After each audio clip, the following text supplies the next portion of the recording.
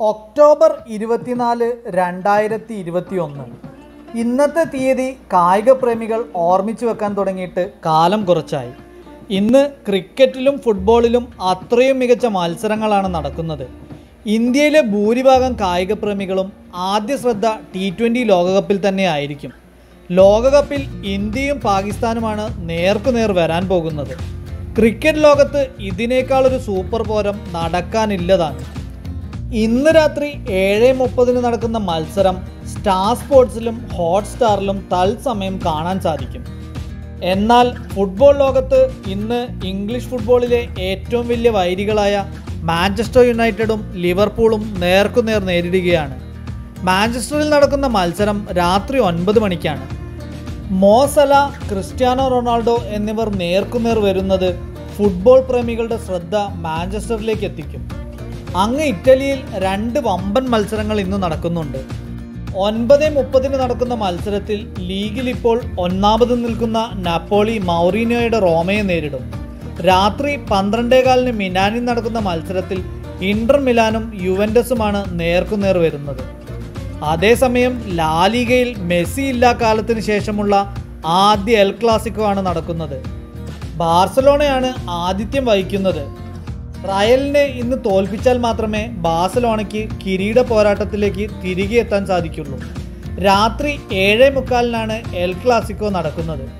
അങ്ങ് ഫ്രാൻസിലും ഒരു സൂപ്പർ പോരാട്ടം കാത്തു നിൽക്കുന്നുണ്ട്.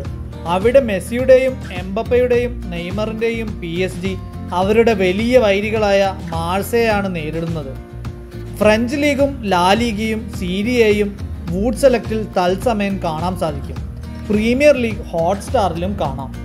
മെസ്സിയും റൊണാൾഡോയും റാമോസും വരാനയും ഒന്നും ഇല്ല എങ്കിലും ഇന്നും ഏവരും പ്രതീക്ഷയോടെയാണ് എൽ ക്ലാസിക്കോയ്ക്ക് വേണ്ടി കാത്തിരിക്കുന്നത്.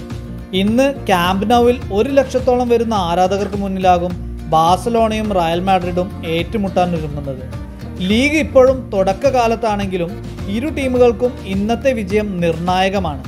സീസണിൽ ആദ്യ രണ്ട് മത്സരങ്ങൾ തുടർച്ചയായി ജയിച്ചു നിൽക്കുന്ന ബാഴ്സയ്ക്ക് ഇന്ന് വിജയിക്കാൻ സാധിച്ചാൽ അതവർക്ക് ആദ്യ നാലിലേക്ക് എത്താനും കിരീട പ്രതീക്ഷ തിരികെ കൊണ്ടുവരാനും സഹായിക്കും.